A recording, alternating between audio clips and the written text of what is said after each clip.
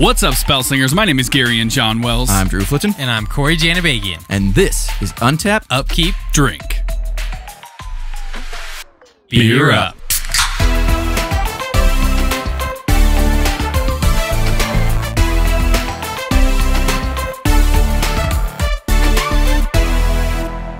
Welcome back, guys. Today we are continuing the Oktoberfest Brewers Weekday Three. We're talking. We we talked light beers. We talked dark beers. We're venturing into the funk. We're going full on sours today, and we've got a very special guest. We've talked about him before. Cory's roommate And your brother, and my brother. Shawn Wells. What's popping, boys? Oh, I So- think you've definitely got the most mentions on the podcast, so it's only fitting that we finally got, got you on to talk about some stuff. And specifically, we brought you on because one, you're probably the only person in our group who's like specifically net decked, which is what the sub theme of this episode is. Uh, but also, you're the sour drinker of our group. You're the guy who, if you find a sour, you're probably going to pick that over probably anything else, right? Yeah, which is ironic because I'm the only one not drinking the sour today. yeah. So Gary kind of touched on it that we're drinking the funky beers. So we group sours and other beers that just don't belong into that category. Right. So we're talking about the beers that are kind of outside of the what we've arbitrarily claimed are light beers, dark beers. Uh, we've got like uh, the sours, obviously sours and gozes. Sorry, gozas, as I think it's technically supposed to be called. Uh, aged beers, chocolatey beer, like things that you've added more than what a normal beer is, consists of. All the good stuff. And weird stuff. so before we really jump in too far, uh, we got to dive into the beers. Okay, today I'm running with Funkwerks Raspberry Provincial Sour Ale brewed with raspberries. So our friend Nikki brought a bunch of Colorado beers, and this was one of them, and I held on to it just for this episode. So I, I haven't tried this one yeah, I was gonna say didn't drink any of them. I, I've had it in my fridge for a month here at the studio, and I've been tempted it, several it times. It looks so good. The color is incredible. looks like grapefruit. Yeah, it does. It smells a little bit sour. I'm diving in. Immediately, you're hit with just crisp tartness, and then you get a little bit of raspberry at the beginning, and then it just mellows out into just your standard ale.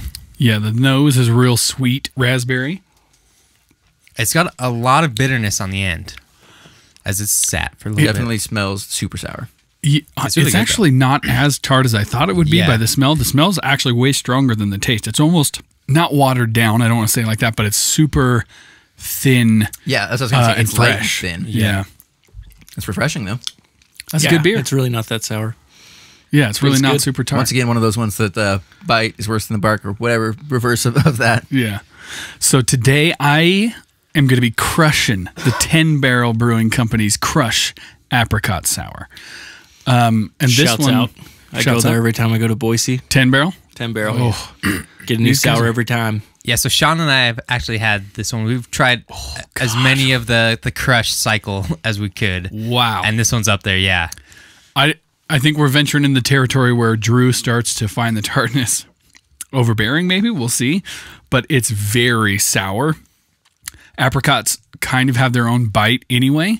Um, this one's six point two percent alcohol and eighteen IBUs.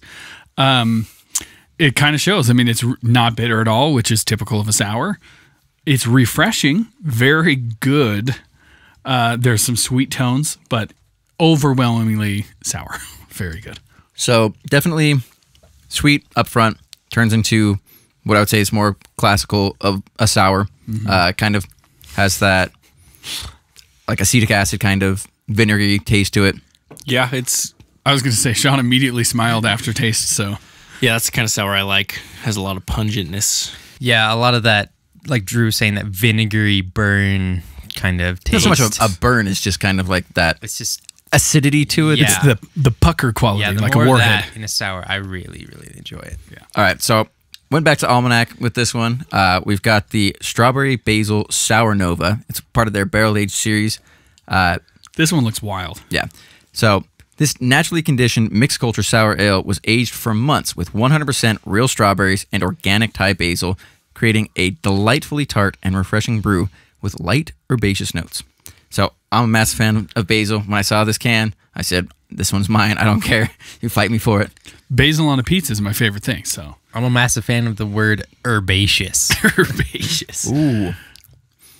So smells like a sour, tastes like strawberry, light, and they do say light herbaceous notes. Can confirm. Uh, just a little bit of the basil. Thai basil is not always super strong, anyways, and that's kind of what I'm getting out of it. To be honest, it smells awful to me. Really? does it? What does it smell like? Just Kind of, I don't know. It's kind Like of like a funky funky? sour. Kind of smells like spit, that is. Uh, and it's uh, it's not very sour. It's No, I can it's definitely not. taste the herbiness. It's like tart strawberries and a little bit of basil. okay. Got that basil. it definitely smells a little funky. It kind of smells like a, a Belgian style ale, one that we've had on Yeah, a little bit more Just like that, that. that kind of Funk. rotten fruit kind of smell. So in a good more way. of like a natural fermentation kind of thing. To be fair, it was like a natural condition in barrel with strawberries and basil. yeah, I like that. Oh, The- You get the strawberry right at the beginning. Yeah, and then and it's a it nice sweet but flows light, light tartness to it. into this. Yeah, I mean, there's The no good way to say it, but it is like a bacteria kind of smell. Yeah, Uh, Yeah, I just like that it's aged for months. How how many? Like most of the time, they're like, we got nine months aging here. You know, we're proud of this. Uh, I think it's just aged in oak barrels, so it's you know got. I'm tasting it a second time. It kind of has like a, a woodiness, just very light. It's not like super heavy, uh, but I'm down. all right, Shawn, what do you got? I got a beer from the Top of Maine series out of Wasatch Brewery. It's called the English Style Barley Wine Ale. And uh, it's aged in Pinot Noir bottles. and it says it's a, yeah, Pinot Noir barrels. Barrels. Uh, I haven't slept all night. So there you go. I'm going to sound weird today, boys. Uh, We'll so we got like ninety percent of Shawn's stuff. so we got 10.4% alcohol. Oh, God damn. So it's pretty uh pretty strong. Seems uh no IBUs uh that I could find at least anywhere. yeah, I think that that's kind of common with some of these offshoot beers. Like sours don't often like Cory. What was your percentage? the I looked it up and it was a 4.2 percent alcohol by volume, but, the couldn't IBUs and aren't Gary, you had to look for a while to find IBUs on yours. Mine's five point five percent, but again, IBUs aren't listed, so it's not uncommon to see. They're kind of like ciders. They're yeah, not gonna have so a lot of I'm gonna dive in. Yours Darkest looks of the bunch. incredibly dark for what I looks thought it like a was quad. going to be. Yeah, Yeah. Yeah, it's really dark. It's Like a kinda Scotch really murky. Like a brownish red. smells like a wine barrel, which might not be a good thing because I'm not much of a wine guy. So we'll Uh, see. yeah, ironically, we gave Shawn the wine. Yeah, we, we brought on the sour guy, he's and the he's, he's had most of the sours. And I was like, I found this almanac, and I was like, I'm not giving this to you. Sorry. Yeah, I hadn't had a sour beer until I started drinking with Shawn, and then he's like, "Have you ever tried a sour beer?" I was like, "No, what is that?" And it changed my life. Yeah. To be fair, we Who have- turned you onto those? It was a Pete Pete Tadlock. Tadlock. Oh, shout I out. fucking knew it. So what's this one like? So this one, back to the wine ale. It definitely tastes a lot like wine. Um, I mean, I like it better than just drinking a bottle of wine. So that got something going for it, but I wouldn't drink it every day. That's for sure. yeah, it, it smells a lot like wine, but it doesn't have that tartness that wine has. But to me, it kind of tastes like fig Newtons in a weird, weird way. Could be It's- good, could be bad. It's got that sweetness that figs have. We all know I like figs. It's it's interesting. I don't think I've had a beer like now that. that you say it, it smells like figs. yeah, I think the big thing is it doesn't have that dryness that yeah. red That some wine wines has. do. Yeah. How bizarre. It's very like dense. It's rich. You know? Yeah, it smells like that. The aroma is like it's like a, a really dark red wine that it's like using a, a red wine for a reduction to me. Yeah. Like has that kind of almost like syrupy candied sugarness to it that after you've reduced it down a bit. Yeah, and then you just get the strong punch of alcohol through it. Yeah, it's definitely a barley wine. Ooh, I can feel feel the alcohol more than I can actually taste it, which is probably better. All right, so let's get into our first topic here. Uh, I realized once we had gone through talking about light beers and dark beers that we never actually talked about the difference between ales and lagers, which is I think the first thing we kind of touched on in the last episode talking about Cranko and dark beers was that uh, we're talking about amber specifically and how there's lagers and there's ales, but we never actually talked about what the difference is between those two. And that's kind of like one of the major distinctions of categorizing beers is whether they're lager beers or whether they're ale beers. And the difference generally is the way that they are brewed specifically the yeasts that they use. So ales are top fermented and lagers are bottom fermented. Uh, more importantly, the yeasts and the temperatures for that fermentation are different. So they use different types of yeast and different temperatures to create that bottom and top fermentation. Right. So with ales, because they're top fermented, the yeast kind of sits on top uh, for the most part of the fermentation cycle, and it makes alcohol th- through that process. Whereas lagers, they have I don't necessarily know if it's just a more dense yeast or whatever, but it generally sits closer to the bottom. Uh, I think towards the end of its cycle, once it, it dies, it'll float up to the top.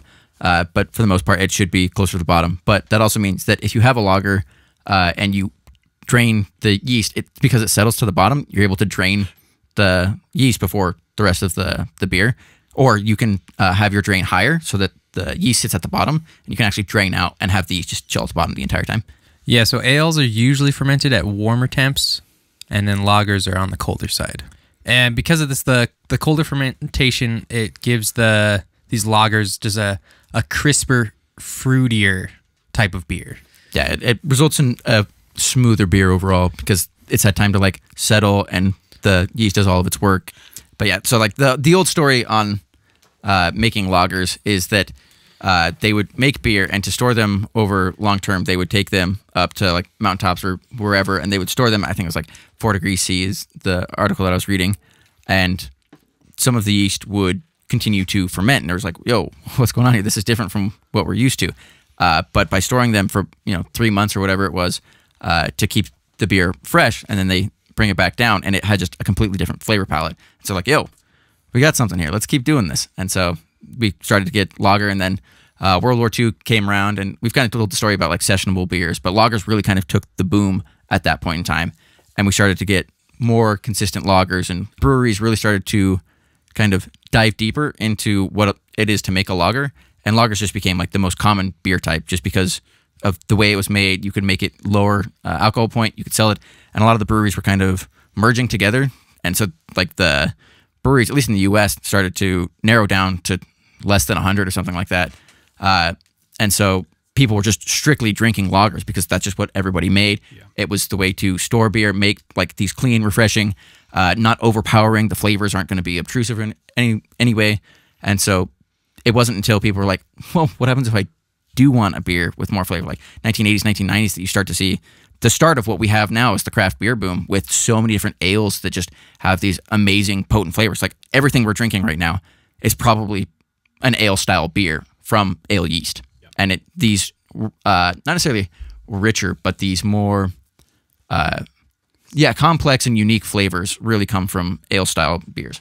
I mean, it, it might sound like a bold statement, but I feel like lagers and lagering is sort of the opposite spectrum from sours in that lagering uses those cold temperatures to keep away anything weird and funky and k- kind of slow things down and clarify, whereas sours, as we're going to get into, generally are let go a little bit. You know what I mean? That's kind of where the origin of sours is from, is just these beers kind of getting a little bit of extra yeasts or bacterias that sort of were at were at first uncontrolled. You know, the first beers, a lot of them were probably a little bit sour on accident because of, you know, poor sanitization and stuff. Um, and so in a way they're kind of opposites of each other in the way that in what they do and don't allow to happen during the, the process. All right, so I thought we were talking about sour beers here, guys. It is the reason that we brought Shawn here. So uh, I guess Cory or Shawn, you guys are the guys who drink the most sours out of us. You guys, anytime we have a sour on, it's probably Cory who's drinking it. Gary, you've kind of come into the sours, although I'm trying to lure you over to the dark side. We're trying here. Uh, one of you guys want to give just a kind of a, a general description of what sours are, why you like them? Well, I'll give you a non-scientific description. I They're just- expected that, yeah. They're very pungent, very strong, literally very sour. Um, how else would you describe it? They, uh, we kind of brought this up earlier, but that's sort of just acidic nature to them. It's not necessarily vinegary, but just that burn that a lot of them have. That you, you, if you've ever had kombucha Yeah. or anything fermented like that, a lot of fermented drinks, they just get this aftertaste of just sourness. Like there's really no other way to describe it. Yeah, usually, and it always seems like a, such a negative, but to me, and Gary, and you talked about your, your wife, how she has the same description, is that kind of has this like bile acrid taste to it that Yeah. just turns me off like no other. See, I like to add lime and lemon to everything that I drink. Oh, just oh yeah, see, even but water. to me that's a completely different taste. The Yeah, acid but I think- quality of that is like a bright note, whereas For a lot sure. of sours are not necessarily. but I think just the nature of enjoying tartness is uh I think that's one of those things that for the reason that I like sour beers and maybe you don't, you know what I mean? Maybe it's just one of those things that hits different to the mouth. But to me, what really sticks out about sours is that pucker factor because a lot of times when you drink a beer, you get sort of the sweet note or the savory note uh, and sometimes the bitter note, which is sort of the dry side. But the sour is like the wet side. It makes you salivate, literally like wets the palate. You know what I mean? Yeah. Um, a lot of people that I've talked to about sours have either never tried them, absolutely love them, or absolutely hate them. Yeah. And I think it's just one of those things that if you don't like that puckery, just bileness that Drew and Gary were saying, then sours just aren't for you. You're just probably not gonna like me. See, I- I, I like sour things and I love like you know things that make you pucker, but this has a different quality altogether. And I'm sure it's some it's people. because it's more of a bacteria lactic type acid. yeah, it is a lactic or like acetic acid flavor, but I think a lot of people are probably thinking, you know, oh, they did light beers, dark beers, and because Drew writes most of the episode, he probably like cut the sours out. He doesn't like them; they're not doing them. uh, not the case. Um, also, they have kind of a, a unique quality in that they have these colors and textures that are so dependent on the actual ingredients used. Right, we've got a lot of fruit, uh, fruity style beers that come out of them. Uh, it depends on like the fruit, the sweetener. Sometimes that is the fruit itself. Sometimes it's a different sugar or like uh, Every once in a while, it's a malt like a barley wine. uh, then the filtration or lack thereof, the timing that these things are done. Like the beer that I'm having, they literally just stuck it in a barrel for some a couple months. Who knows how long? They, Some amount some of amount months. of months, yeah, with strawberry, which is a sweetener, but also has that tartness to it. And then they just kind of let it go sour, and I'm not going to complain. No, it's great. Yeah, if you just look up pictures of sour beers, their colors are incredible. And Or- they're all over the place too. To check out Drew's Brews, we'll have eight different sours on. Hopefully, by the time you're listening to this, and the range of colors, those are all distinct sour beers, and they go from a very light beer all the way down. I burned my palate out doing that, just tasting as many as I could. Yeah, they're just there's I think they're just some of the most photogenic beers and I I love them. All right, so we talked about specific categories uh, from craft beer. They have their descriptions and the details. Cory, why don't you go and start us out? Okay, so we grabbed these from craftbeer.com. It's that website that we've been using that is just an incredible resource if you need to know anything about beer. And first one we've got is our sours and we have the American Sour IBU varies, but it's usually on the low side like the one that I have isn't listed and Mine was 18. yeah, they're just often super low. Like the bitterness is just barely even there or just non-existent. Yeah. And then With that, you have with the that, we have the our BU GU ratio, which just says varies, and our SM, which says varies. And so the we've talked about the colors; it can be all over the place. And then the bitterness to sweetness ratio, which is the BU GU, it's they can just some are on the sweeter side and some are on the more bitter side, but they always have that just acidic nature to them. Yeah. So what we've got here is the acidity present in sour beer is usually in the form of lactic, acetic, or other organic acids naturally developed with acidified malt in the mash or produced during fermentation by the use of various microorganisms. Now, usually we don't like reading straight from the from the book, Yeah. but since this is such an involved process and there's so much science and fermentation and things you can't really mess around with, I think just taking this book definition is the best way to do it. So a lot of these beers, they just like as we've been saying, they just take these bacteria cultures and form those flavors. And so because of that, you can literally make any flavor profile that you want. You can use any kind of fruit or any weird thing that you want. I've had gin and tonic sours. We've had One of the ones that I've got on Andrew's Brews today is a gin sour. It was wild. I You'll have to like- read into that one because that one was interesting. I have a couple buddies that I grew up with in Idaho that aren't aren't magic players, but they just enjoy some of them like easy drinking, you know, Bud Light, Coors Light kind of beers. And it was a hard sell when you try to tell someone, well, this beer is uh, it's fruity and it's fresh, but it's been soured by bacteria. It's it's kind of hard when you go the technical route, but that really is how they make it.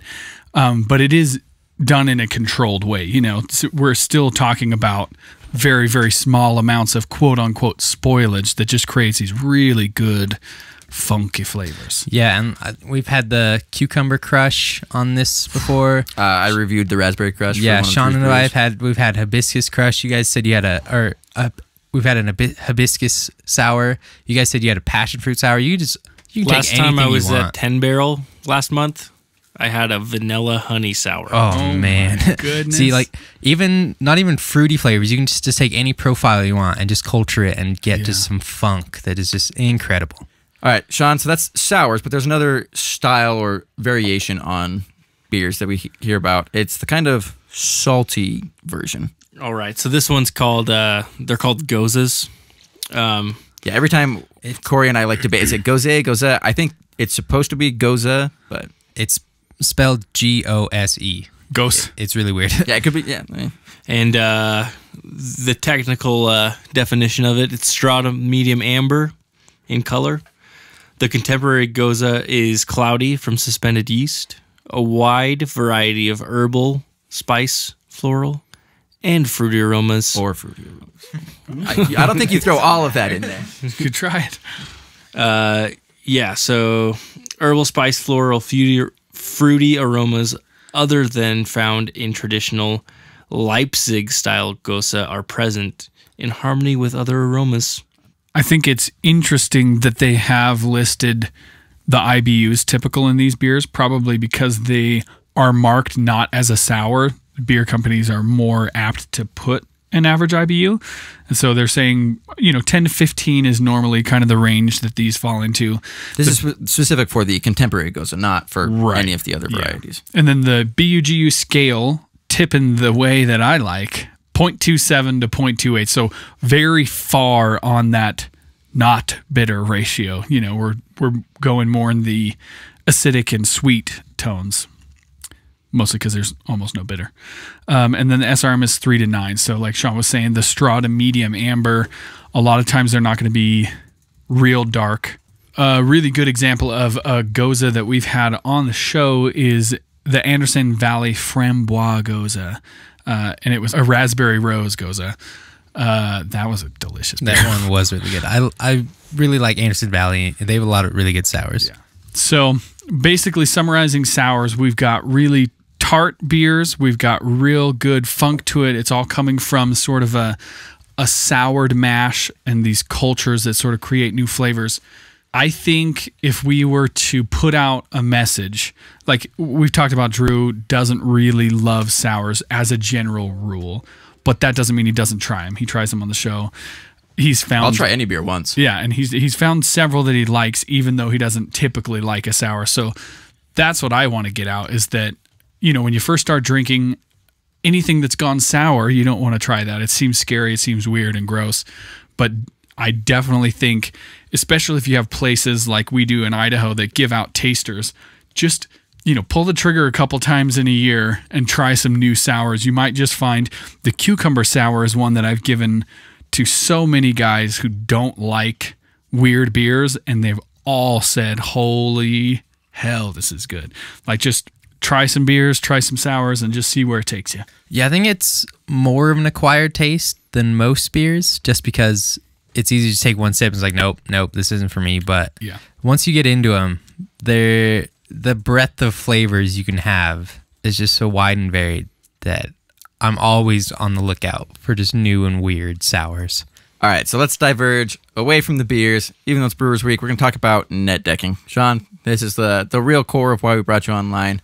What is net decking? What does that even mean? This is like a direct shot at me. Okay, I'll say that there is like a super negative stigma, yeah, a really bad connotation that goes along with net decking. But I think you're probably the only person who has literally like followed the definition of what net decking is. And well, and I think our group in general has always been totally fine with partial and or full net decking. You know, what I mean, if you find something you like and it's already really good online, there's no reason you should be like, oh, I have to change that because someone else has already done it. You know, uh, but yeah, you're right. There's there is a community of people who frown upon it, but before we get into all that, Shawn, what is net decking? Net decking is just going online and finding someone's deck list and buying those cards verbatim. Exactly.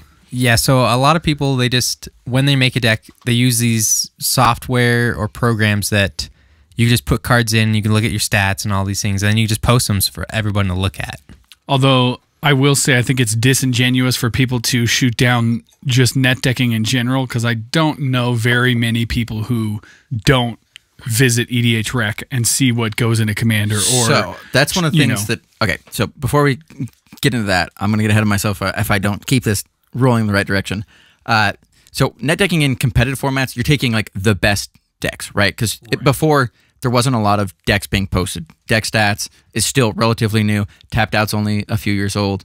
Uh, all of the like actual deck publishing websites weren't there right? So people would see these top eight deck lists and those are what people were building from right? So they're already successful in tournaments and things like that and that's what people are saying like the championship standard or modern and so decks. the idea is with net decking is you take that list, you memorize it, you practice it, and you learn how highly skilled players play that.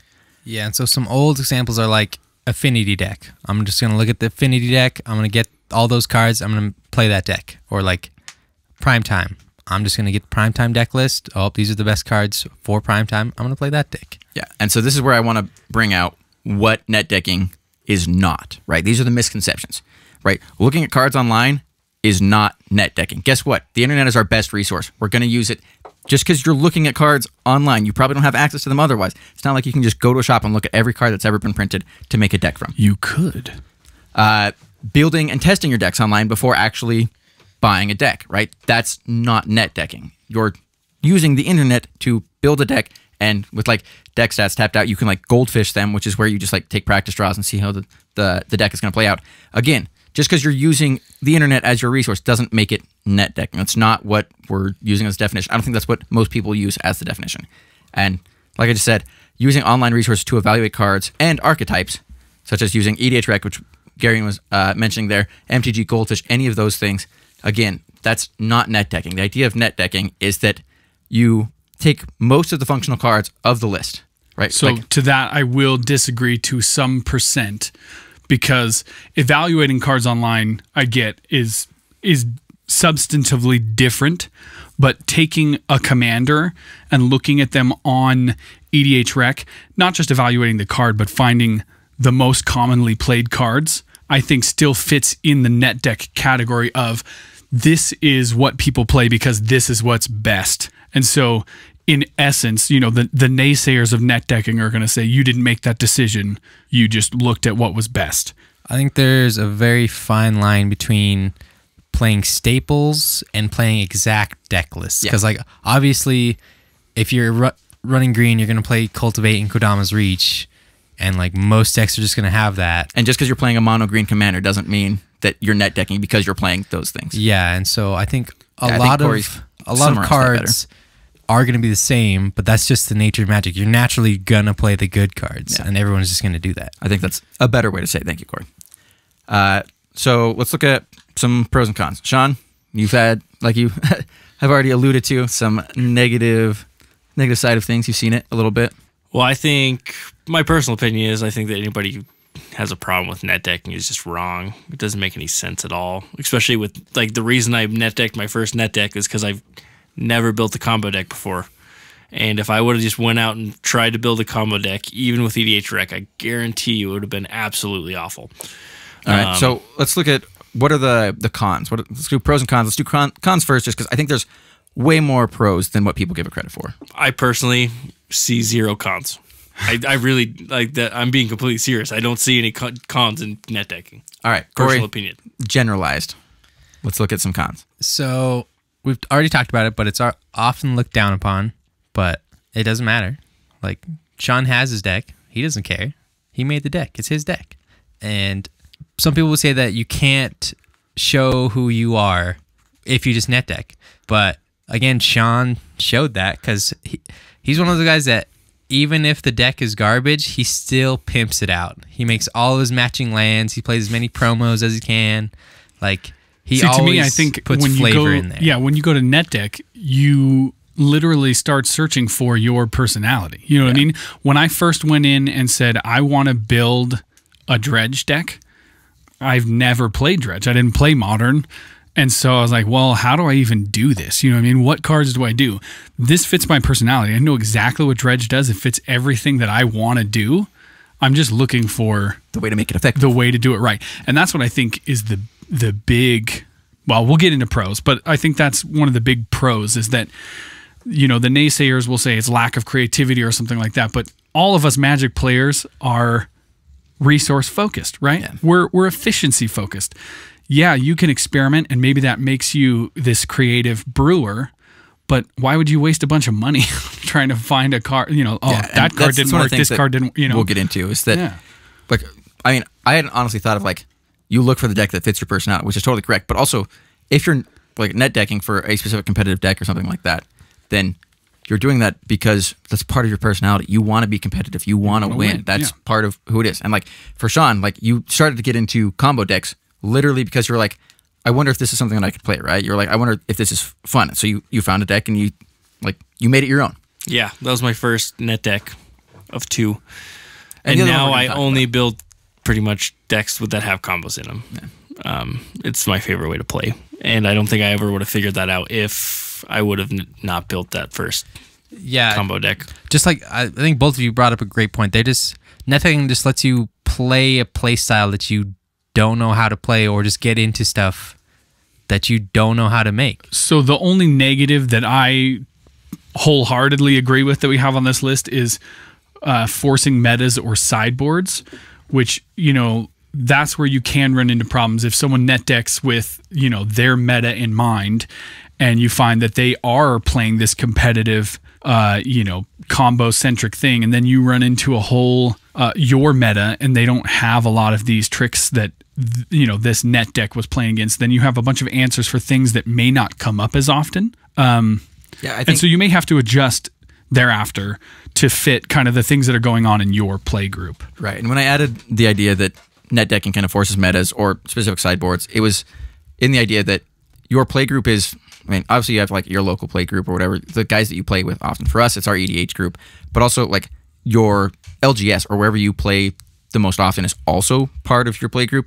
Uh, and if people are relying on top decks, and especially if they actually learn to pilot them, then it kind of forces everyone else to answer them either in their sideboard and in their main board. And that's where I really see that net deck has some kind of detriment. Like I honestly think that if somebody's net decking, and I think Shawn, because of like literally because you uh, got the deck that you had, like it had combo that was fast, and that all of a sudden we had to change our decks to match you. Like that was something that I think it made all of us a better player because we had like a, a peak, as it were, and we had to match that. Yeah, I guess that can be viewed as a negative, but I think it can also be a positive because it makes everybody that wants to play with you, that wants to play in that group, become a better player. You have to be good to play with these decks. Yeah, I think a lot of the other combos that we've had in other decks are like three or four piece combos, but Shawn, your deck just has two com or two card infinite kill combos, and it's just like you gotta always be on your toes looking out for that. Uh, and I think, like I was saying, talking about uh, like playing at your LGS or something like that. The the biggest problem with this specific topic is that it becomes especially apparent that there's a problem when a format becomes solved. Like after a new set comes out and you're looking at standard things like that. Uh, like if mono red's just the best deck and everyone's just net decking and just like looking at what top aided, you know, what won the pro tour, whatever it happens to be, and it's all of a sudden you see, you know, sixty percent. Like if a deck is ever more than like thirty or forty percent of a meta, that's a problem. To me, that's a problem. Yeah, I think But I don't think that's a problem of the builders. I, I think that's a problem of Agreed. Agreed. I- format. yeah, it's just that's where you know you start to see problems. That's where you start to see like bans and things like that. And that's where like the I think frustration comes in is that people are able to pilot a deck uh, with no effort on their part. I mean, I'm not going to say that it's legitimately no effort, but it's just compared to someone who spent hours and hours brewing to make their own deck to try and get it to work to finesse you know the the tiniest synergy or whatever it happens to be. And then someone just comes in reads the list online copies it buys the deck plays it and is able to just win because it's just you know the formats become solved. I think that's where the problem comes in. And it's kind of like the very same argument as you know not being able to express personality or that net decking lacks creativity. And i will say that yes net decking doesn't have the most creative aspect to it. But the idea that you can make it your own is something that we'll talk about. And i think that's the good part about it. Yeah, I think one of the best recent examples is just Hogaak in modern. Like it was just so consistent and so good that you either played Hogaak or you lost a Hogaak. You either played Hogaak or you played the deck that could beat Hogaak deck. Yeah, and so that's why they had to ban. Basically, they had just had to take apart the the modern Hogaak deck. I was gonna say, didn't they ban too good. Hogaak and the enabler too? Yeah, Yeah. the battle under the bridge or something. Some weird.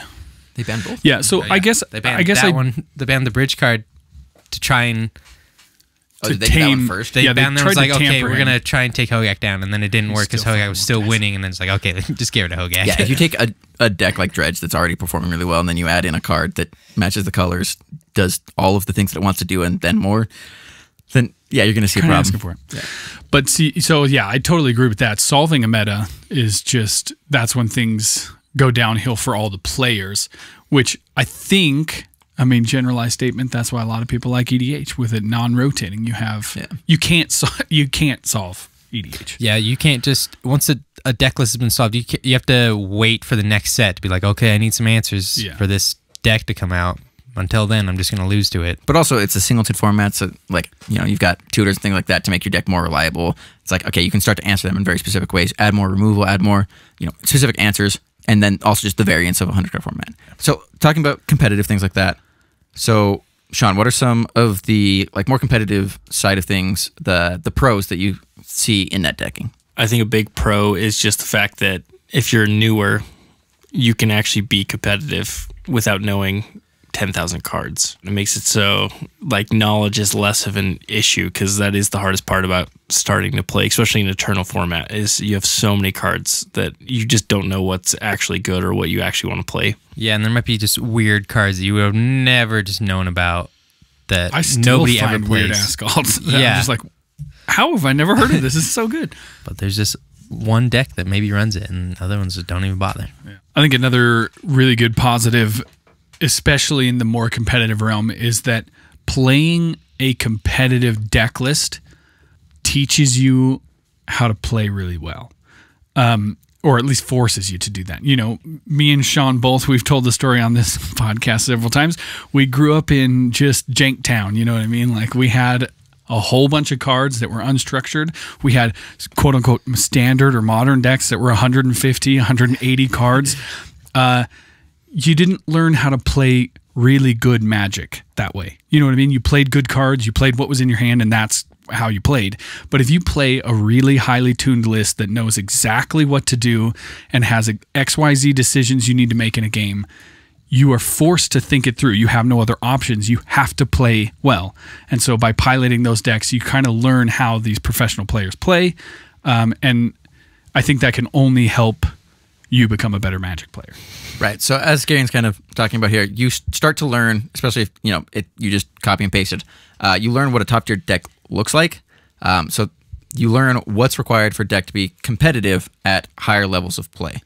Uh, you start to see like specific uh, creatures, answers, removal, things like that that are consistent throughout decks, and you start to uh, learn what's powerful in the format that you're looking at and why it's powerful. Especially if you watch like streamers and things like that, and you start to see why they're making choices that they are.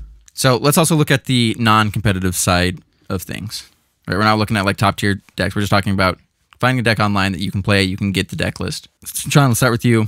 I mean, we don't play like super competitive stuff. I mean, you've played at the shop, obviously, but what are your takes on the non-competitive side of things? I think the best part, personally, um, about net decking is being able to find a way that you want to play the game and then have a base so you can expand on it. Neither of my net decks are net decks now.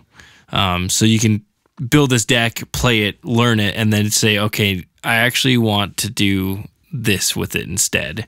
Or this is the way I actually want to go about doing this. It gives you the perspective on the cards, especially like the the archetype that you're playing as well.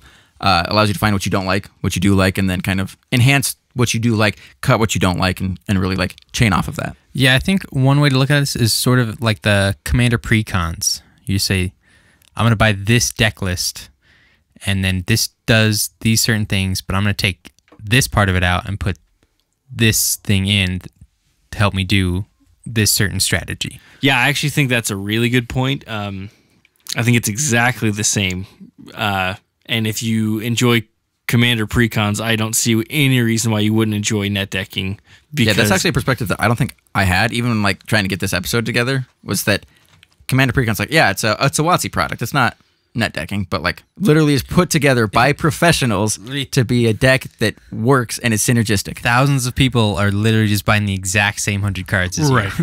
So I think also like if you're looking at EDH and if you're like copying a deck that is one of the lists from EDH Rec or something like that, and you're actually copying a list, uh, or I don't know, maybe you're looking at the decks from Command Zone that's been played, you start to learn, or at least what's generally accepted out of a deck from the specific format, right? Like if you look at EDH, we've got ramp and card draw, those things that you need to have, and you learn, okay, these are good here because of this. This is not good because of such and such. Uh, you start to ask the questions, why isn't that there? Uh, and I think the biggest boon in all formats, competitive or non, is that you don't have to build a deck from scratch, right? Making cuts sucks. Like we've all been there. It's it's hard, right? And so you don't have to compile a list of cards, then make cuts, make hard decisions. You have a deck, and you can go from there. Um, and I think the, along that similar line is that you're able to put a deck together very quick. Like Shawn, uh, you got the the one that we're going to talk about is the Niv Mizzet Parun deck. You got it from Wedge from the Mana Source. Uh, you built it literally like the next day, right? And then you started playing that same day. Well, I mean, he literally on the video has a link that goes straight to TCG Player, and all you do is press buy. Well, that is the most yeah. convenient thing I've ever heard. wow, that's yeah, that's nice. Yeah, Uh, I think another important thing is that Shawn, when you bought the deck, it was literally just a twenty-five dollar net deck. Yeah. Yeah. it was. I literally I saw it and I said, that, "Wow, that's cheap. I can buy that right now." Okay, and I Yeah. just did it. Like yeah, that's like the, the last point I have here is that you can find budget builds that actually work, right? Like I, I'm a budget player, but usually I, I like you know bring the cost to about a hundred dollars. If you pay a dollar per per card, uh, that I'm pretty happy if, if that's where you're at. But you found a twenty five dollar deck that wasn't complete garbage. Yeah, it was awesome. Uh, I I watched the video. He a Wedge is very persuasive, Shout out. but uh, it just looked like a fun deck, and I never really played Izzet before, so I just on the spot was just. And like, the other yeah, thing let's is that try like, it. so you- you watched it on YouTube, right? Yeah, So just from there, you've got like other players and people who comment on it, like, oh, you should switch this out for this. And like, you literally have just like, hey, you can upgrade this deck right here, and like you can make those decisions, or you can like do it later, go back. You have you have another resource basically that's not just your playthrough. You have other people who are commenting and things like that to really help you tune the deck. Yeah, and so just leading into the next topic, Shawn, you bought the deck, and then we, I think we play tested it once or twice, and then you're like, nope, this deck is not good enough for our meta, and then you immediately started upgrading it. yeah. That's the thing is, it actually isn't the worst deck, but our meta is to the point where it was. I was playing my commander while everybody else was winning, pretty much. So, I Speaking had, of which, uh, you who is your commander? my commander is Niv Mizzet Parun. So Niv Mizzet Parun is blue, blue, blue, red, red, red. So six mana, all colored for a five-five legendary creature, dragon wizard. This spell can't be countered, has flying, and whenever you draw a card, Niv Mizzet Parun deals one damage to any target, and has just a little kicker on top. Whenever a player casts an instant or sorcery spell, you draw a card.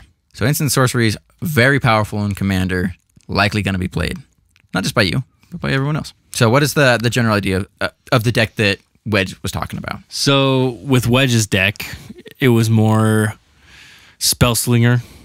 You're playing a lot of things that made tokens when you played spells or did damage when you played spells. Uh, so you're playing things like Talrand Sky Summoner, which uh, creates drakes every time you cast an instant or sorcery. Young Uh, Pyromancer. Young Pyromancer, you're playing Guttersnipe, so every time you play sorcery or an instant, you're dealing two damage to everyone. Um, so, more of a heavy focus on you playing spells, not just capitalizing off your opponents.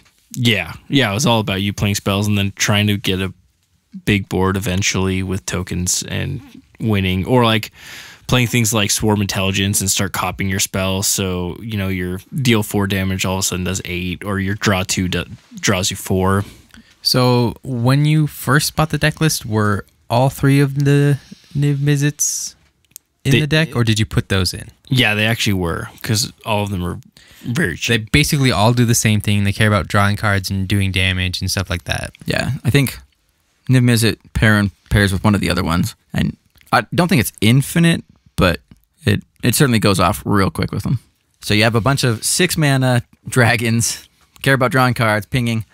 Uh, what would you say are your like top five changes to the deck? Maybe not top five, but just like the ones that are notable that you're like proud of, or that you the way. How did you make the deck yours? What are the, the cards that you put in? So I think the important thing is I immediately decided that I wanted to turn it into a combo deck. And as soon as I did that, I had to get the Niv Mizzet combo pieces, which are Tandem Lookout, Curiosity, and Ophidian Eye. So what are those cards? What do they do? Okay, one of them's a creature with Soul Bond, uh, which is Tandem Lookout. Uh, the other two are enchantments. So Tandem Lookout is a 2 1 human scout for two and a blue. It has Soul Bond, which means uh, you can pair it as either Tandem Lookout or the other creature enters the battlefield, and they remain paired for as long as you control both of them. And his Soul Bond says as long as they are paired, each of those creatures has whenever this creature deals damage to opponent, draw a card. So what's the mana cost on it? Mana cost is two and a blue. Two and. So you can get this out and then wait for Niv to come out and then soul bond them. Yeah, yeah, you can have it chilling for sure. And that's probably what you want to be doing because you kind of want to be pretty close to winning by the time you're playing Niv Mizzet because he'll die. Everybody kills him. Yes. At least he can't be countered. That's true, but he still dies. I promise. Yeah, I played this deck a couple times and I've never played Niv. I think I played it three or four times. I've literally never been able to play Niv. The mana cost, at least you've upgraded, but I think you upgraded after I played it. Yeah, which that was definitely a side note upgrade. Is Yeah, playing as many multicolored lands. And that's that's one of the things that I. I've got noted here. But you also said Curiosity, uh, which is just one blue mana for enchantment aura. Enchant creature. When enchanted creature deals damage to an opponent, you may draw a card. So as soon as you draw a card, it- Niv deals damage, which lets you draw a card because of Niv, and then you draw a card, you've dealt damage. Like it just cycles. Another card you mentioned was Ophidian Eye, which is another enchantment aura. It's two and a blue. It has flash, which is very important. And it says whenever enchanted creature deals damage to an opponent, you may draw a card. So I mentioned earlier about the two card combos that Shawn put in this deck, and so whenever I play against this deck, I'm like, I'm just waiting for him to come out. So I, Anytime I, you see any of these cards, I have to sort of just keep removal just for these guys, or else I'm just gonna lose. Yeah. So with these combos, it seems like a pretty good way to mill yourself out. So I expect you've got some some way to protect yourself there. Yeah, I definitely run Lab Man, which is Laboratory Maniac, uh, Shawn's good buddy. two and a blue, two two human wizard, and it just says if you would draw a card with uh, no cards in your library, you win instead of lose. So I think this is one of the more unique win cons in Magic, but it's also Except that one of the just most. reprinted it basically. It's also one of the most common ones because infinite draw combos are really easy to do. But a lot of I don't think there's any other cards in Magic that let you win from having no cards. A lot of them just do damage or let you do other crazy stuff. But this is the one. Yeah, they've got exception. Labman and then the new Jace, Wielder of Mysteries. Oh, think. yeah, I forgot about the Jace, Labman Jace that everyone just calls Labman Jace. If it doesn't tell you what the what the strategy is there, then Yeah, it's just this effect. It's just a backup. It's just a really good backup. And most blue decks that want to just draw a lot of cards. so one last card here you have is Locust God. So the Locust God is four blue red for legendary creature god. It's a four four. It has flying, and whenever you draw a card, create a one one blue and red insect creature token with flying and haste. Has two blue red. Draw a card, then discard a card. And when the Locust God dies, return it to its owner's hand at the beginning of the next end step. So built-in recursion. You're drawing a ton of cards in this deck. You get flyers with haste. I would have to say one of your top additions. Yeah, I think the important thing is if you don't have Labman out, but you do have the Locust God out, and you have, say, a Ophidian Eye, which says you may draw a card every time it deals damage, you can have him out, start shooting people with Niv Mizzet, probably kill at least one of your opponents, if not two of them. And then before you mill yourself out and die, you just stop and you have like 80 hasty insect boys that are going to kill the other one. And it's just another way to insta win, pretty much. As well as even if you don't have your combo piece out and you're just drawing a bunch of cards, you're still gonna have blockers to live long enough to get your combo, or realistically, you might just have enough flyers to eventually win the game. That's the thing. When you play a deck and you draw your whole deck and you're looking for a combo piece, you're probably going to draw your combo piece. So if you don't win that turn, you're going to win the next turn. All right. So what are the the highlights? Uh, like what are? I mean, we already talked about specific cards. So what about specific plays that you want to make out of the deck? The strategies. So the main one is pretty obvious. It is self mill. If you have Lab Man in the deck, it's probably your win con. your Yeah, primary so- win con. So the main thing I'm doing in this deck is definitely trying to get the combo pieces out to be able to self mill myself um, quicker than people can aggro me out. Yeah, and you have a lot of the jumpstart cards as well, which care about discarding cards and things in your graveyard and stuff like that, which I think are really good. yeah, this there deck. definitely are some like kind of interesting side characters, like say Crackling Drake, which cares about instant sorceries in your graveyard and exile. And Hey man, uh, thirty power, four toughness creature for four that also just gets you that extra card. Team tease. So you mentioned that Wedge also had the token generation, which you kept around for the most part. Like obviously, Locust God just makes a ton of tokens. Uh, you've got Young Pyromancer, Talrand. So it's not like you cut through all of that.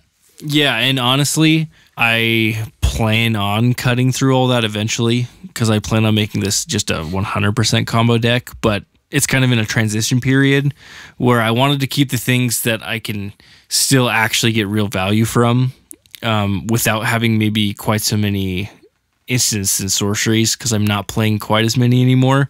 So I'm still going to get incidental value with things like uh, like young pyromancer, but I felt like that's getting a new creature is maybe more worth it than guttersnipe and just dealing two damage. So um, I'm kind of in the middle with that right now, um, but I am keeping it with that theme a little bit for the time being. And then the last kind of note we have here is that you've got this kind of burn slash direct damage suite. Yeah, and for sure, that's definitely more of Wedge's deck still showing too. Gotcha. Okay, Because- when I saw it, I figured that was like if I can't kill people through Niv Mizzet and drawing cards, that was like my last st- straw to like burn someone out real quick. Which the last game I won with this deck, I actually did end up burning someone out. It was terrible. It was against me. Cory. Yeah. I, I can't remember what we were playing, but it was just a grindy game that we were both down to. If I don't kill you this turn, you're gonna kill me next my next turn. And then he just happened to drop prophetic bolt and deal me some damage. I dealt him four damage, but I doubled the I doubled it with a double cast, That's what it and he had yeah. eight life. so that's yeah. For now, that theme is also there, and I think it might be somewhat relevant no matter what. Since uh, I mean, I'm never gonna build this full as CDH as possible. So Yeah, I, th- I don't think just because Niv Mizzet's so prohibitive on cost that you can't necessarily build just straight CDH. Yeah, but I just mean like I'm not going to build as top tier as it can be. Like I'm going to build it good, but I don't have the financial or you know I don't have the resources to build it as good as that. So, uh, But you have done a lot of work to upgrade it. yeah, it's definitely And to be fair, it's still what I would consider a budget build. Like when I was looking on deck stats, I think the overall cost of the deck was still sub 100. So you can take a $25 deck, upgrade it with, you know, another $75, $80 and still keep your what I would consider a budget build. Absolutely. And me personally, my budget builds are more of the 250 to 300 dollar range. So if I put in another 150 dollars in that deck, I could make it pretty good. Oh yeah, for sure. Um, so some of the the notable cuts that you've got here, you've removed the slow cards or slower cards, uh, the CMC heavy or the less defined strategy cards, because there was a little bit of mill interaction there, uh, just based off of uh, psychic corrosion. Uh, you draw a card, they mill two. Wasn't exactly what the strategy was you're going for. Uh, you cut swarm intelligence. I assume that's because it, it's seven mana. Yeah, I pretty much cut like as much of the high mana cost cards as I could. Rise from the Tide in the same category. yeah, there. just because I mean your commander six, the other Niv Mizzets, which are probably worth running, Also are six. also six, and you don't have much room for any more seven drops in your deck. It's just in our meta at least. In our meta, we need to be playing a spell pretty much every turn, or else you're probably gonna lose. So and again to that effect you cut down on creatures specifically i noticed that the there seemed to be like a correlation between you cutting creatures and you adding artifact ramp. Yeah, I mean you're running. Izzet colors red blue? there is no real There's, ramp. there's very there's very limited yeah ramp that you have that's directly just red or blue or red and blue. Yeah, so I added as much cheap, quote unquote cheap mana rocks possible. I mean, I don't even think there's a Sol Ring in Wedge's version. No, I don't think there is. Uh, but you cut like erratic cyclops, which whenever you cast an instant sorcery, it gets plus X plus O and loses defender, and it's like a an 08 that gets plus X plus O uh, for each for the converted mana cost, right? Something like that.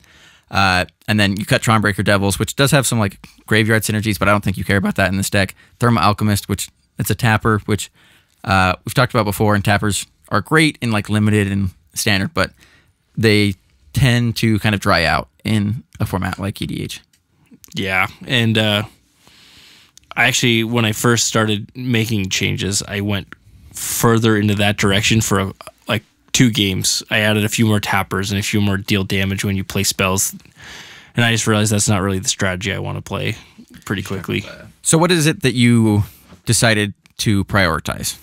Um, I really focused more than anything on. There's two things: uh, getting three blue and three red mana, because that was my biggest struggle. Is you know it's turn seven. I have four islands and two mountains. What Yeah. are you gonna do? You I- still are not playing your commander. That's what you're gonna do. Yeah, I can attest to the times I've played that deck.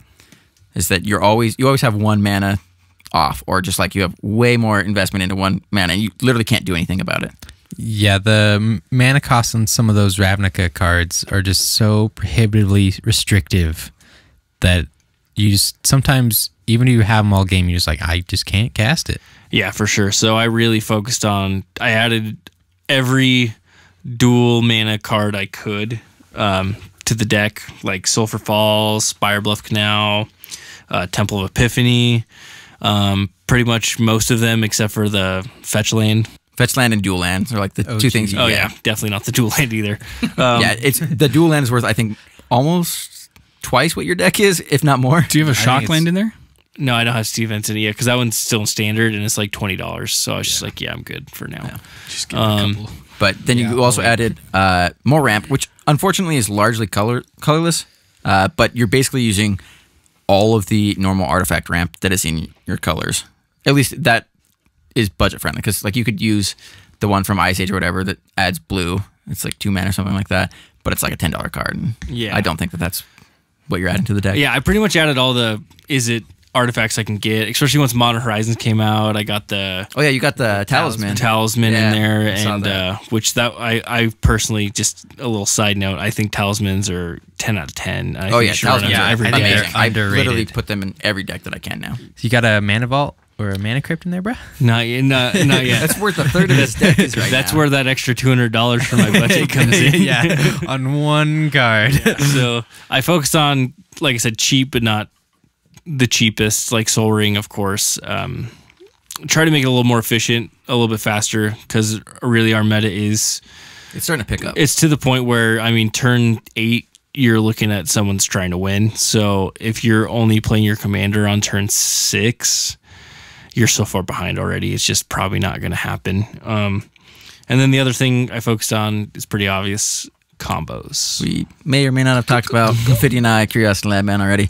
Uh, I think because of our meta, you also added uh, more and better removal, but also counter spells. Because that's, I mean, if you're playing these colors, you care about instant sorceries, that's going to be your go to.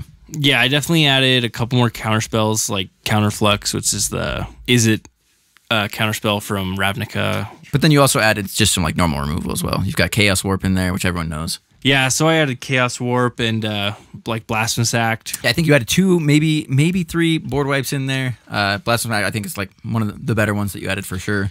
yeah, I think I think you threw evacuation in because That's since- actually in my box right now. I'm I'm waiting to trade it out because Okay. I Oh, gotcha. because I, think realized before you had it when you were doing a token strategy and like this is just screwing me, but now that you've leaned away from the token strategy, it's way better. yeah for sure. And I mean, obviously, I should add a Cyclonic Rift because Yeah, it's just but again, good. like it's it's the money on that. yeah, Like, and uh, and another one I literally bought for the deck is Vandal Blast, and then I Love Vandal somehow have misplaced it. I have no idea where it is. I might it's have gone up in it. price yeah, again. it never made it into a deck before I couldn't find it anymore. So, All right. uh, so as we're trying to wrap things up here, uh, overall, give us the summary of how you've changed Wedge's twenty-five dollar deck into your deck. So I think the biggest things I did were uh, dropping the converted mana costs, um, trying to make it a little bit more efficient for for the meta, and uh, with that adding more ramp, which is kind of Yeah, honestly, I think they think go hand in hand. the, you've made this deck like probably twice as fast as it was. Oh, absolutely. Like, don't get me wrong. If I played that wedges deck in like a really beginner meta, I think it would have been awesome.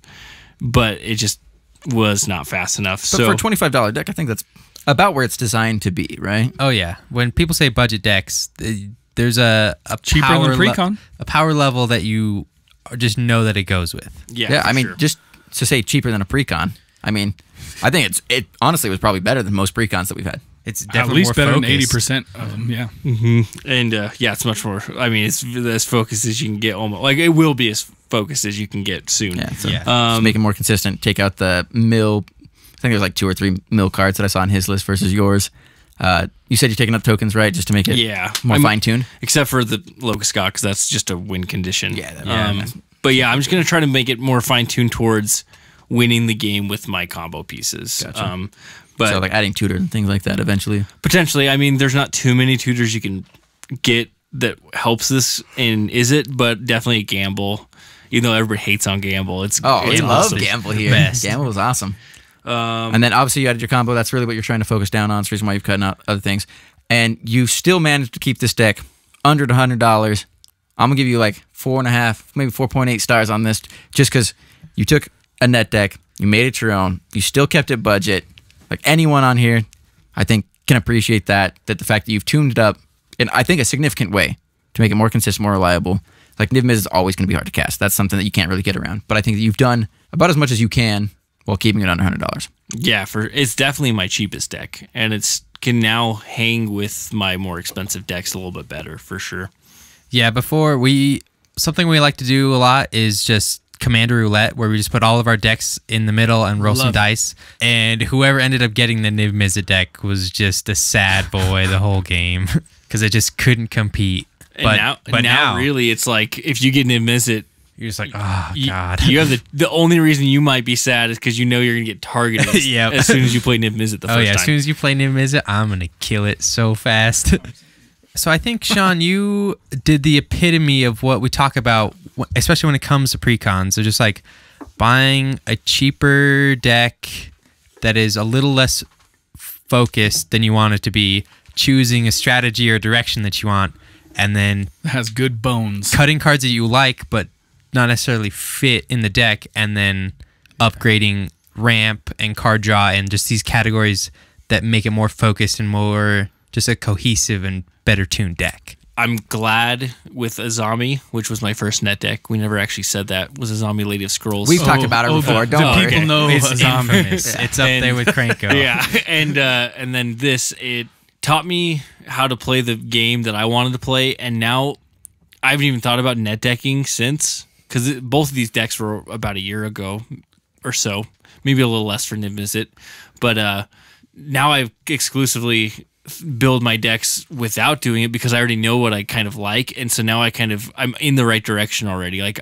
I just built Yarok recently when it came out a few months ago, and I use EDHREC because I just think it's a smart thing to do. But I It's a great resource. I just I didn't feel like I needed to Google how someone else did the combos. I just looked at the cards and I said, okay, this is how I want to build this deck. How I can make it combo-y and also more fun if we don't feel like going combo central on a on well, a game. It really quick before we wrap up here, I think it's important to note that this idea of net decking, even if you're staunchly against it, even if you think creatively the game of Magic was not meant for that, that's fine. I think you should reserve your opinion. I think we as a Magic community should do better to reserve that opinion for your own play group, your own friends, or professionals that you know can handle that kind of critique. Because to tell a new player, no, you have to build your own deck. You have to look through 18,000 cards and you have to make the best choices right now, or you're not a magic player. Well, I think You're also, not going to have new magic players. yeah, for sure. Especially with our play group, we made a lot of bad decks. Yeah. and wasted a lot of money, like you guys are saying, just buying just cards just to have cards and not to say it try fun. to make them work. And yeah, that was a great it learning fun, experience, yeah, and that's but- the reason we're here but because like we looking fell in love with on it. it. it's just like, God, I wish I had known at the time. If you want this card, don't you know like crack packs or like buy a whatever they're called, the dual decks or anything like for the card. Go buy the card. There's nothing wrong with just buying packs and cracking them, but if you're trying to make a deck, I think it's okay to just save a little money and just buy the cards that you need. Definitely. And maybe a lot of new people don't know about resources that help you do that. They just think, oh, I'll just go to the magic shop and buy some cards because that's all I have. But there's tons of different places to look and get ideas. You can just talk to people and they'll tell you what they think. Everybody has their own ideas on deck building, and it's never it's never wrong. Yeah, I really think the the best lesson you can take from net decking is you can learn something different and something new and kind of find who you really are as a magic player and you don't have to worry about the fact that some people are going to hate you for it because Well, I think that we need to kind of kill the taboo that is net decking, right? Like you net decking shouldn't be a taboo. I think that people need to kind of come to an understanding that we live in an information age where we have access to the internet because we carry around, you know, a pocket computer that has the internet and just like, oh, how much is that card worth? Oh, people play it with this, you know, and it's like it's just so accessible. So we jumped into our second half here without ever actually going over the beers again. So let's get back to that action. Cory, you start us off. Why don't you come back in with this? So I had the Funkwerks Raspberry Provincial Sour Ale brewed with raspberries. And I think we mentioned it earlier, but it's a little raspberry at the front and then just mellows out into the ale. And it wasn't that much on the sour side. Only on the smell. The nose has like a nice sourness to it, but it really is pretty smooth. Raspberry, like right at the front, then it just becomes a nice ale. Yeah, you can smell the acid, but you don't really taste it. And that's okay. Now that it's, I mean, we've been talking for an hour now. Now that it's a little bit flatter, I taste a lot more raspberry. Uh, but yeah, it's got the really smooth kind of beer notes underneath. That's a really good beer.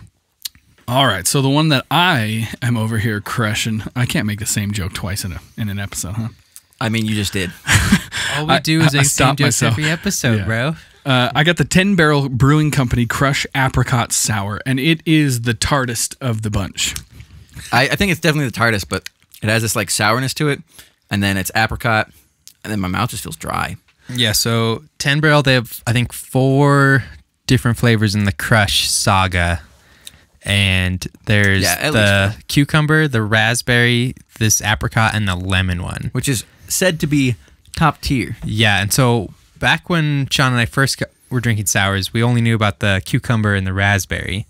And then we saw them come out with the apricot and lemon, and we immediately had to go out and try them. yeah, I think this apricot mode might actually be the best of the four, honestly. Yeah, I think it, it go. I keep going back and forth between the lemon and the apricot because they're just they're so refreshing, but still really sour, like we like them. I think that's a note that we didn't put in the beginning is that sours are so drinkable and they're not heavy at all. Yeah, so you can just not. drink them and drink them. It's And drink them. very Keep dangerous. They're incredibly sessionable and crushable, which might be why they called them that. All right, so the Almanac Strawberry Basil Sour Nova still just has that sour nose to it, but it really doesn't taste that sour at all. It's got like some tartness from the the strawberries, that nice herby basil taste to it. It's real, real good. It definitely smells a lot less spitty after it's been warm. and it actually, to, this is the only sour I've ever had that I'm going to say this, but I think it tastes better warm and a little bit less carbonated. I don't. Yeah, I don't know if we ever talked about because a lot of European Germans, yeah. countries they drink their beers warm, which changes the flavors. I, I have to agree with both of you guys. The flavors are definitely more pronounced, but I'm getting like less strawberry and more of the basil this time around. Yeah, that's not. It's not as sweet, but it's definitely not super tart either, which is It's still really good. it's pretty good. And then Shawn, you've got Black sheep. I have out. Yule wine barrel beer, and uh, so what is it called? Wine barrel beer. Yule wine barrel. Uh, it's the English style barley wine ale from Wasatch Brewery out of Salt Lake City, Utah. Shout out. barrel aged in Pinot Noir barrels. Yes, uh, it's a hefty one at 10.4%, if you forgot. And as it gets warmer, honestly, it's a little, it's a little bit more, uh, like, sour's not the right word for this episode, but it's a little bit more like tart and It's very wine like, like red yeah, wine. Yeah, it it honestly is almost better warm. I think for this one too, which is weird. I never like warm beer, but there's So- two of them today. Another thing to think about is that, especially a barley wine, uh, a barley wine ale, and a Pinot Noir like aging process is that wines tend to have a lot more uh, flavor and a lot better characteristics after they've had time to be exposed to the air and to aerate and to open up, as they say. And so, I think maybe that's what it is with this one is that it's actually had time to open up and get all that wine goodness. Yeah, I'm I- really bummed to agree. This is better warm. Yeah, I got th- a lot of that figginess is still there, but it's you get a lot less alcohol in my opinion. It's just a lot smoother and more flavorful. The smell definitely has that figginess still. Mm-hmm. Yeah, it's it just But smells yeah, like it's fig. it's way better than it was at the beginning of the episode. it's less acrid, less a little less of the sort of wine tannins, and Yeah. more. It's still that like full, round. I, I don't know how to explain like the rich kind of flavor. I, I think you nailed it with full round. Full and rich. round and rich. There you go. That's what I'm trying to That's be. how I like my women. All right. so, no comment. So, uh, beer of the show going around. We're going to end with our guest, Shawn. Cory, we're going to start with you. Uh, I think my vote has to go with the apricot crush. One because I love that beer already, and two, it's just the most acidic out of all of these sours. And when I look for a sour, I want want, the sour? the ass, the acid. I want, want the, the burn. I want want the acid. And it's just it has that incredibly good, refreshing flavor, like Shawn was saying. You just drink that all day, but it also has that tart, acrid, just sourness that I just love and I'm addicted to. Yeah. And Gary, and what about you? Uh, during the beginning of the show, I was leaning towards the raspberry, but I've had other raspberry ales that were more fruit forward, and I think I like that better in my raspberry beers. I want that fruit to like really punch you in the mouth, so I'm I'm gonna vote apricot sour as well. That was a that was one good beer. So, that's the beer I like the least. I kind of figured. Probably because it is the most like it has Most, that. The most most sour, like classic sour Yeah. tasting. Yeah. So, I, I've really been digging on the, the strawberry basil sour nova, but I think the best one is Funkwerks. I mean, surprise, raspberry's my favorite fruit, and it's, so good. it's it is really really, good. Uh, but surprise, dark horse with the Pinot Noir barley wine. I'm not really a big fan of barley wines, but that aging process they've done is real good. And Shawn, 100% Crush. the crush beer. Doo doo doo. Let's go.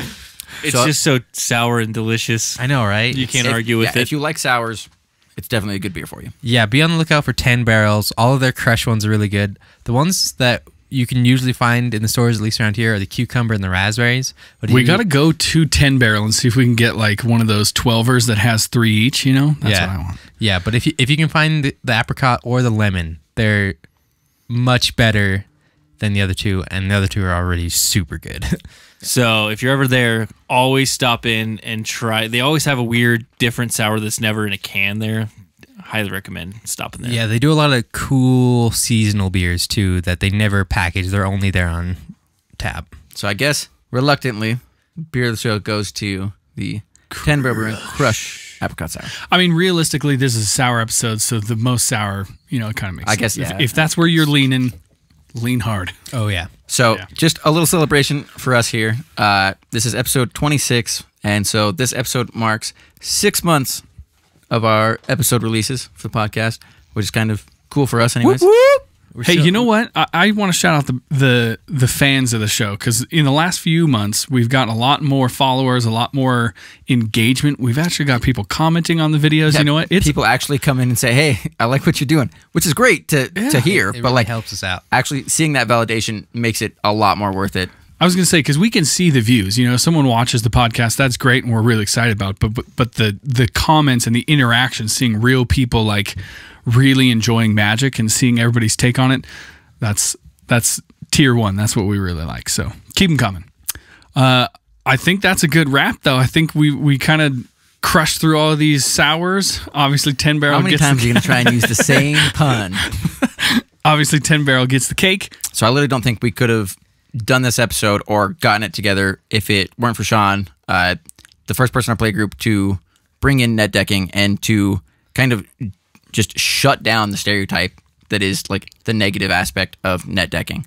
I think that none of us would be here without Shawn because Drew and I got into beers together, and then Shawn's one that got me into Magic, and then we roped Drew into coming to play Magic with us, and then all of us just fell back in love with it. And then Gary and you'd you'd been out of Magic for a while, and But because then- your brother was playing, but was just all of us just came back just to share our love of Magic and of beer. Yeah, I was gonna say our play group is literally like we go, we get awesome beers, we share beers, we you know have a couple games, we enjoy it. I, there's a reason why we talk about Shawn almost every episode. It's because he's just so pivotal Yeah, the pivotal member of our group. to our play group. And like we either played at my house or at Shawn's house back in the day. That's those are the only two places we ever played.